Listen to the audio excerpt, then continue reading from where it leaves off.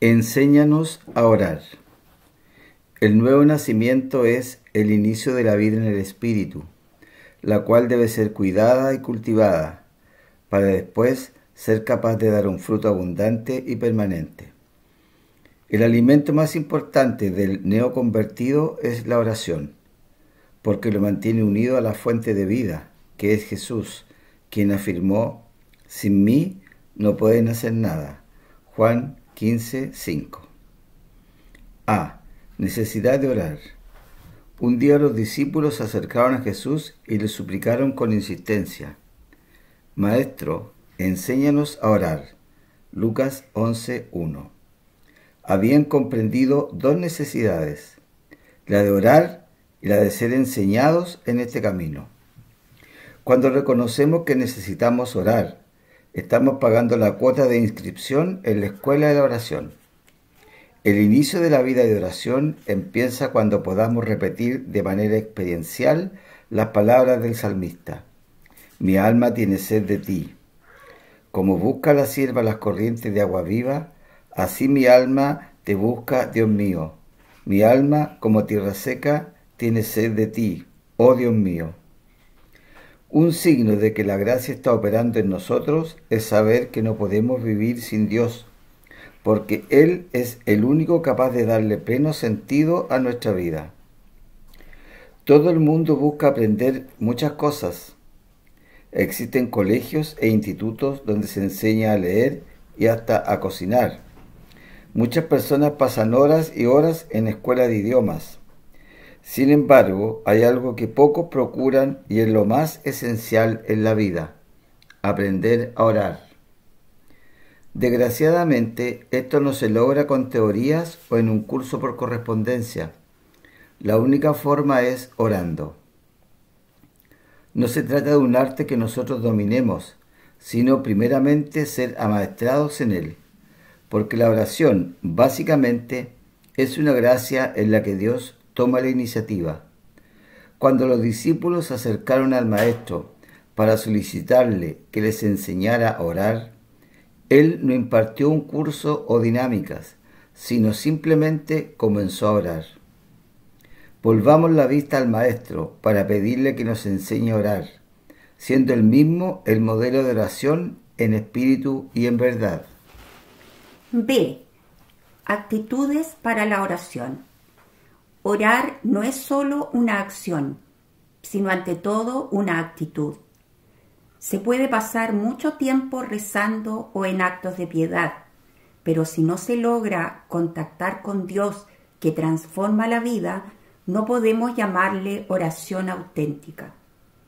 La disposición fundamental es la conciencia de estar delante de la presencia de Dios, que es digno de todo amor, honor y gloria al mismo tiempo que nuestra incapacidad para orar como conviene. El amor de Dios clave de la oración.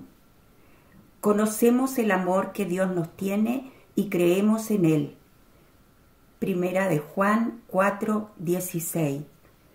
La clave de la oración radica en creer y experimentar el amor de Dios. Por lo tanto, para relacionarnos con Él precisamos aumentar la fe en este amor incondicional que nos tiene. Dios nos amó primero, primera de Juan 4:10. Este es el primer presupuesto de la oración. Dios ha tomado la iniciativa. Por lo tanto, nuestra oración es una respuesta a ese amor. Cuando hemos experimentado el amor divino, entonces podemos orar como conviene.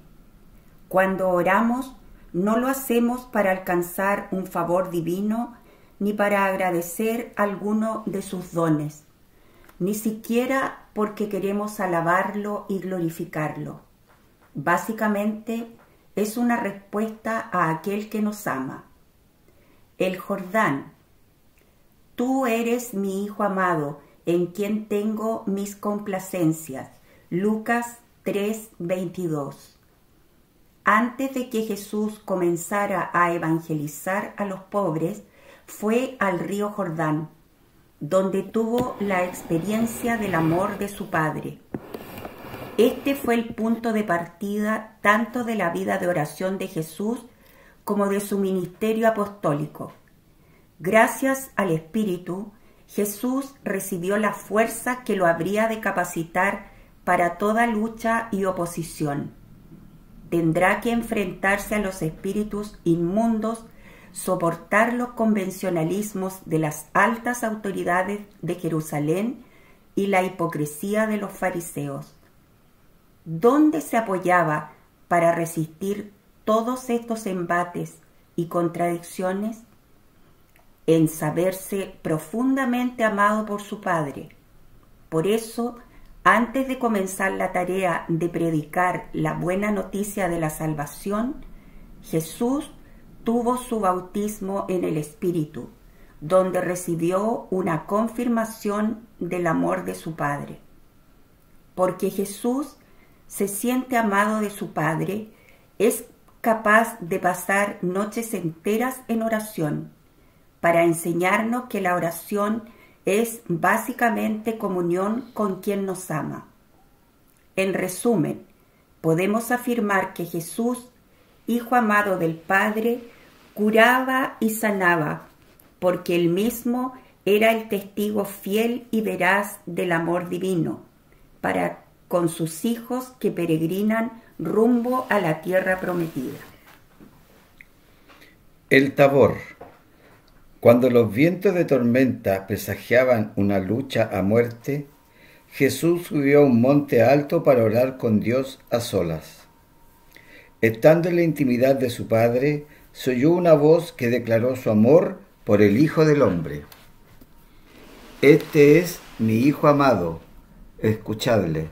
Marcos 9:7 Antes de ascender la cima del Calvario, Jesús escaló esta montaña todavía más alta, el Tabor, para empaparse del amor de Dios que lo capacitaría para dar su vida. El monte Calvario solo manifiesta su verdadera y justa perspectiva desde la transfiguración que proviene del amor de Dios. Nadie puede dar la vida por los que ama si antes no ha experimentado el amor de Dios por él. Este es el maravilloso itinerario que nos muestra Jesús. Primero, experimentar el amor de Dios, lo cual nos llevará a una vida de oración que culminará en hacer la voluntad del Padre. Si antes no se experimenta el amor de Dios, no se es capaz de dar la vida por los demás. Si repetimos la petición de los apóstoles, enséñanos a orar, no estamos diciendo otra cosa que renueva en nosotros tu amor para que podamos responderte. Así pues, la oración no es principalmente una forma de hablar, sino una manera de relacionarse con Dios. No se trata de aprender fórmulas o determinar condiciones o principios para la oración sino abrirse al testimonio del Espíritu que nos hace exclamar, Abba, papá, adiós.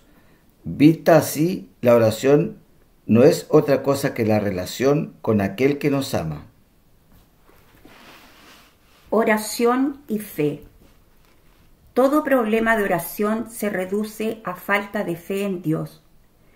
No se trata de creer en su existencia eso no es suficiente para entrar en comunión con Él, pues Satanás también cree en su existencia y esto no le beneficia en nada. Al contrario, tiembla ante el poder celestial. Santiago 2.19. La fe efectiva consiste en un acto de confianza en que Dios va a actuar de acuerdo a sus promesas salvíficas. No es creer en algo, sino en alguien. No se trata de creer en Dios, sino de creerle a Dios, que tanto nos ha amado, que envió a su Hijo único para que todo el que crea en Él no perezca, sino que tenga vida y vida en abundancia. La oración personal es una demostración de fe. Rezar delante del Señor demuestra qué tan profunda es la fe en Él. El tiempo para orar en la asamblea, la participación en la Eucaristía y la oración personal son manifestaciones de fe en que Jesús está vivo y es el Señor de la vida. Por el contrario, dejar la oración es síntoma de estarse apagando la fe. Estar una hora delante de quien no vemos y que a veces no escuchamos, pero con la certeza de que está allí, es un acto profundo de fe. Jesús se queja con el padre Gastón Courtois. No tienen fe para pasar una hora frente a mí. Mientras estás en la tierra, tienes una venda sobre los ojos, pero por la fe y la influencia de mi espíritu, actúa como si me vieras. No se debe tener fe en la oración, sino fe en Dios. No podemos garantizar que si se reza esta oración tantas veces y de esta forma, se va a conseguir lo que se pide. Esto sería tener fe en la oración. No, la fe se deposita en Dios, que cumple lo que promete. Se cree en sus palabras, se toma en serio lo que dijo y se hace un acto de abandono en su misericordia. Nuestra oración debe ser como la del padre del epiléptico. Señor, creo, pero aumenta mi poca fe. Marcos 9:24 no como fórmula, sino como actitud de vida, reconocer el señorío de Jesús y pedirle que acreciente nuestra confianza en su palabra. Se trata de tener fe en el amor inmutable de Dios, que dijo, los montes se moverán y las colinas se correrán, pero mi amor de ti no se apartará. Isaías 54, 10. ¿Podría una madre olvidarse del hijo de sus entrañas? Aunque ella se olvidara, yo de ti jamás me podré olvidar. Isaías 49, 15. Si creemos esto, cambiará totalmente nuestra actitud cuando oremos o ayunemos. No vamos a presionar a Dios o a comprarle sus gracias, sino que nos abandonaremos confiadamente en aquel que hace salir el sol sobre justos y pecadores y da alimento a las aves del cielo. El Señor le decía al padre Gastón Courtois, pídeme constantemente una fe profunda, luminosa y sólida, una fe que no sea apenas una unión intelectual a las verdades dogmáticas o abstractas, sino que sea una percepción de mi vida y una presencia de mi amor sin límites. El bastón del evangelizador. Llamó a los doce y comenzó a enviarlos de dos en dos dándoles poder sobre los espíritus inmundos. Les ordenó que nada tomasen para el camino, fuera de un bastón. Marcos 6, 7. Jesús fue muy elocuente cuando envió a los suyos sin nada, excepto el bastón para el camino. Este bastón, a semejanza del de Moisés, tenía dos funciones, signo de la presencia de Dios con su pueblo y apoyo para el camino. Si el bastón sirve para apoyarse, el punto de seguridad del evangelizador es la palabra del Señor. No se sostiene por sus propias fuerzas, sino que confía en la promesa que el Señor ha hecho y que lo capacita para seguir adelante. Narra el libro del Éxodo, Éxodo 17, 2, 16, que cuando el pueblo de Dios se vio atacado por los amalecitas, Moisés se fue al monte a orar con el bastón de Dios que llevaba en las manos, las cuales mantenía levantadas en alto. Esto es muy significativo. Cuando Dios miraba desde el cielo a Moisés orando, lo primero que veía era el bastón. Bastón que él mismo le había dado como signo de su fidelidad, cuando se comprometió que lo acompañaría en todo el trayecto rumbo a la tierra prometida. La oración de Moisés estaba sostenida por la promesa de Dios y por eso se aferraba a su bastón, para darle a entender a Dios que confiaba en su palabra y no podía ser defraudado. Esta es la oración que garantiza la victoria en cualquier lucha o batalla, cuando confiamos en la palabra que Dios ha pronunciado y confiamos en ella. Oración y esperanza. En la guerra no depende la victoria del número del ejército, sino de la fuerza que viene del cielo. Nos atrevemos a orar porque estamos seguros que el éxito y la, la victoria dependen de Dios y no de nuestras fuerzas. Por eso osamos esperar contra toda esperanza, porque sabemos en quién hemos puesto nuestra confianza. Existe un pasaje de la Biblia muy ilustrativo. El pueblo de Israel iba por el desierto rumbo a la tierra prometida. Se le acabaron las provisiones y comenzó a protestar, exigiéndole a Moisés carne a la mitad del desierto. Moisés clamó a Dios, quien le prometió satisfacer la demanda popular. Pero Moisés estaba tan angustiado que no descubría solución posible y dijo, Señor, ni todos los peces del mar, ni los rebaños de ovejas, ni los bueyes serían suficientes para alimentar a tantos. Sin embargo, Dios lo sorprendió con lo que Moisés no había considerado. Al día siguiente aparecieron unas codornices que, cansadas del vuelo, se posaron en el suelo y los hebreos comieron toda la carne que quisieron. Moisés solo contaba con tres posibilidades, bueyes, ovejas y peces, pero Dios tenía planeado precisamente lo que Moisés no había previsto. Dios siempre tiene la respuesta que nosotros no esperamos. Sus planes superan infinitamente a los nuestros y nos ofrece la alternativa inesperada. Cuando se agotan todas las posibilidades, entonces Dios interviene precisamente con la alternativa no considerada. La oración es esperar que Dios va a actuar más allá de nuestras consideraciones y posibilidades humanas, que Él tiene poder para realizar todas las cosas mucho mejor de lo que nosotros podemos pedir, de acuerdo a su poder y sabiduría, que superan infinitamente nuestros pensamientos. Somos mensajeros de esperanza en un mundo que ha caído en el pesimismo.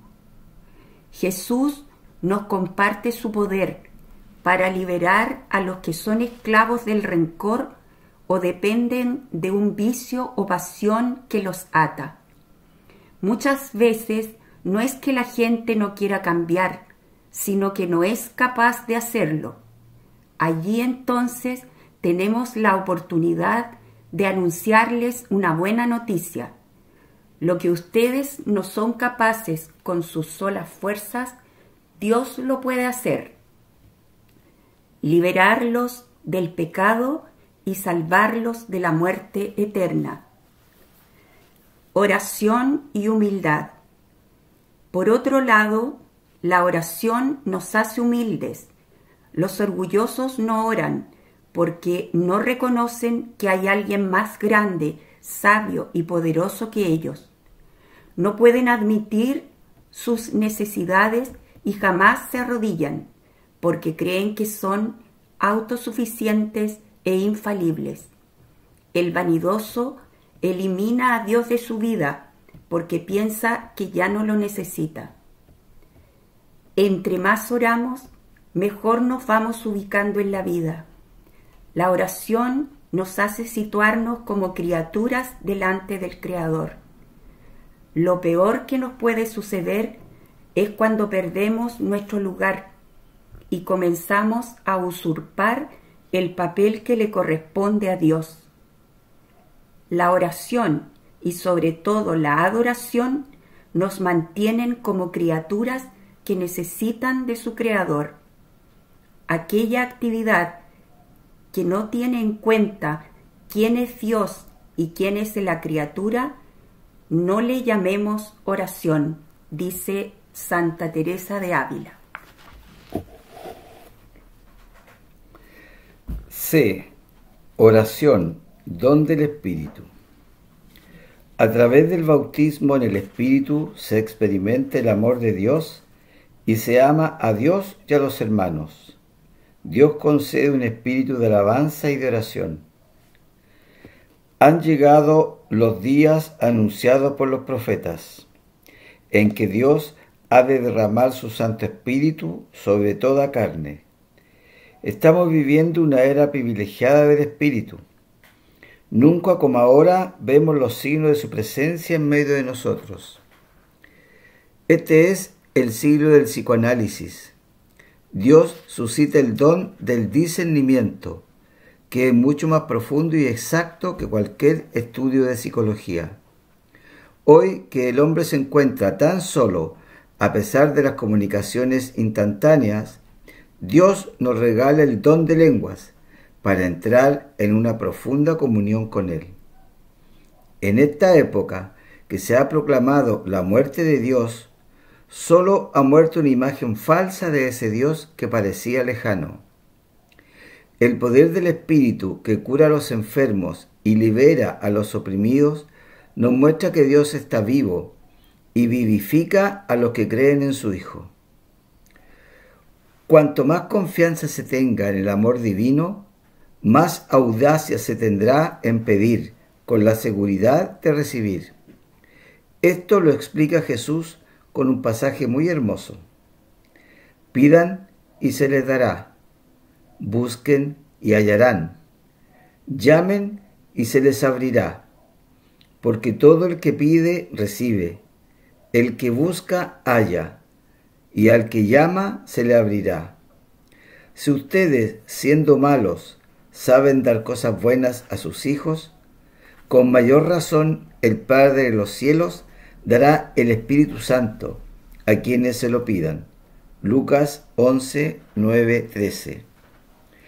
Si el Espíritu de aquel que resucitó a Jesús de entre los muertos habita en nosotros, somos canales de vida divina para los que mueren en la soledad, el dolor y cualquier clase de pecado. Si el Espíritu mora con nosotros, no hay por qué sorprendernos de estos regalos divinos que son los carismas del Espíritu, entre los cuales se encuentra el don de lenguas. Nosotros no sabemos orar como conviene, por eso Dios envía su Espíritu Santo, el cual intercede por nosotros con gemidos inefables. Romanos 8:26. El hombre es incapaz de entrar en la esfera divina si antes Dios no toma la iniciativa de llamarlo a compartir su vida. Para que el hombre pueda conocer lo íntimo de Dios, Dios le participa su Santo Espíritu, el cual le enseña una nueva forma de entrar en comunión con Él. El don de lenguas es un don de contemplación y de comunión con Dios, en el que, más allá de los conceptos humanos, nos relacionamos con Dios a través de su Espíritu. Este don es para quienes han sentido la experiencia de que su lenguaje es insuficiente para alabar y bendecir a Dios, para quienes sienten que las palabras humanas no expresan lo que su corazón quiere manifestar. Una vez un sacerdote muy inteligente habló por radio y dijo que los que hablan en lenguas es porque les faltan vitaminas. Sin embargo, vemos con qué fuerza la renovación se extiende en 140 países. No nos faltan vitaminas, sino que Dios misericordioso regala este don tan hermoso a tantos millones de católicos. D. Tres oraciones claves. Hay tres oraciones en el Evangelio que dan elementos muy ricos para nuestra vida de oración. La oración del leproso. Si quieres, puedes limpiarme. Jesús atravesaba la Galilea cuando de las cavernas salió un leproso gritando, Si quieres, puedes limpiarme. Mateo 8, 1, 3. Jesús respondió exactamente a la petición, Quiero, queda limpio, y aquel hombre fue sanado de su lepra. La curación no se gana ni se merece, es un don libre y gratuito de parte de Dios. Si Dios quiere, puede hacerlo. No es cuestión de su poder, sino de su voluntad. Es un acto soberanamente libre de parte de Dios. La oración del ciego de Jericó. Jesús, hijo de David, ten compasión de mí. A las afueras de la ciudad de Jericó, famosa por sus palmeras y sus actividades comerciales, se encontraba un ciego pidiendo limosna a los integrantes de las caravanas. Pero un día pasó por allí Jesús y este hombre sintió que estaba delante de una oportunidad única que jamás se volvería a presentar y comenzó a gritar con toda su fuerza. Jesús, hijo de David, ten compasión de mí. Lucas 18:39. Proclama a Jesús como el Hijo de David, que debía venir a este mundo. Antes de presentar su necesidad, hace una solemne declaración pública de quién es Jesús, el Mesías anunciado por los profetas. No veía, pero supo descubrir la identidad mesiánica de Jesús de Nazaret. El conocimiento de Jesús es el punto de partida de la fe en Él. Porque lo conocemos y sabemos quién es, depositamos en Él nuestra confianza ilimitada. Sabemos en quién hemos confiado.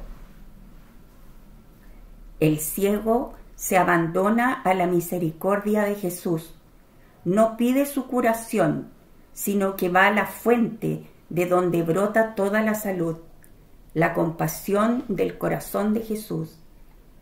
Ha comprendido perfectamente que su curación no es cuestión de poder, sino un profundo acto de amor de Jesús. Por eso pide que Jesús se apiade de su persona. Descubrió que la esencia de la curación era básicamente un acto de la misericordia divina. Jesús le preguntó, ¿qué quieres que haga? Obviamente la respuesta era conocida por todos. Sin embargo, el maestro lo hacía porque quería que la fe se hiciera explícita. No basta tener el deseo en el corazón, hay que manifestarlo con sencillez, como lo hace un niño. Cada vez que oramos, Dios nos repite la misma pregunta. ¿Qué quieres que haga contigo? hay que responder con la confianza de este ciego. Esta fe nos abre a las inimaginables sorpresas del Espíritu. Una señora de Jarabacoa, República Dominicana, me contó lo siguiente, que parece increíble, pero que al mismo tiempo muestra que Dios cura como Él quiere. Hace unos meses una de mis hijas sufría del hígado.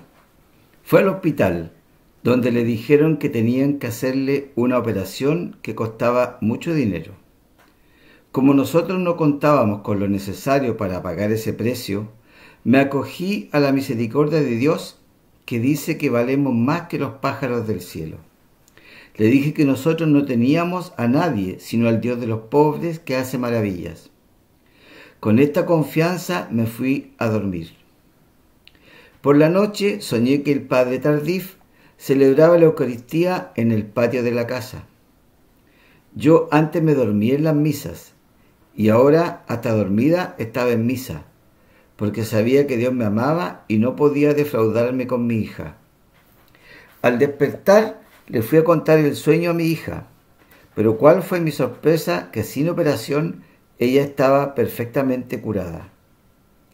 Su sanación fue confirmada por el mismo médico que la quería operar. Dios manifestó su amor por nosotros los pobres, que no tenemos a nadie sino a Él para sanarnos y salvarnos.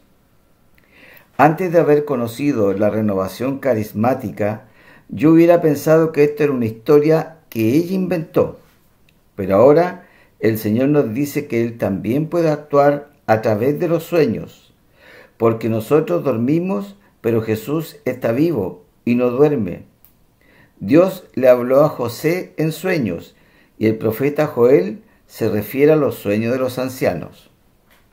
Dios es capaz de hacer lo que para nosotros los hombres es imposible, no solo porque es poderoso, sino por su amor y misericordia. Así sucedió con un joven dominicano que vivía en Newark, Estados Unidos. Tenía 28 años y estaba contaminado por el virus del SIDA. Asistió al retiro carismático en 1990, donde el equipo oró por los enfermos. Este joven se sintió invadido de un gran calor y una gran emoción. A la semana siguiente estaba mucho mejor y allí comenzó una maravillosa recuperación. Dos años después, los análisis de los laboratorios médicos lo confirmaron que estaba perfectamente sano. Pero lo más importante es que su vida entera se transformó. Hoy está dando testimonio por todas partes. Lo que la ciencia humana no puede y no hay medicina para esta enfermedad, Dios lo puede hacer con su amor. Nuestro mundo ha perdido la capacidad de esperar milagros. Se mueve solo dentro de los parámetros del racionalismo y del pragmatismo. Se pretende medir a Dios con la limitada inteligencia humana. Se ha perdido la confianza del niño que espera que su padre le responda. Nosotros tenemos otros dos casos de personas sanadas de SIDA, porque para Dios no hay nada imposible. Lucas 1.37 La oración de las hermanas de Lázaro. Maestro, el que tú amas está enfermo. Lázaro, amigo de Jesús, se enfermó. Poco a poco se fue agravando más y más, hasta que los médicos perdieron toda esperanza de vida. Entonces las hermanas del agonizante le mandaron a decir a Jesús, Maestro, el que tú amas está enfermo. Juan 11.3. No solicitaron nada, simplemente comunicaron la situación y dejaron a Jesús en libertad de hacer lo que fuera mejor en su plan.